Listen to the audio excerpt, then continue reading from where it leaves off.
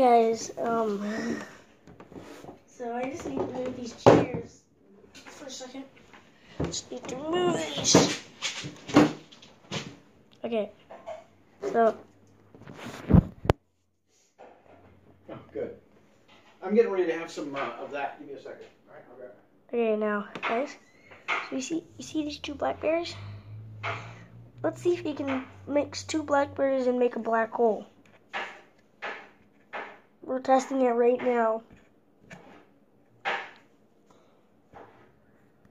That theory is totally yes because there's a black hole in my hand. No, there's actually not. Okay. How does one of them survive? Look, it's fine. And then the other one is just squished. What? well, I guess you can't squish two blackberries together and make a black hole. Like, it doesn't make sense. Why can't. Oh, whatever.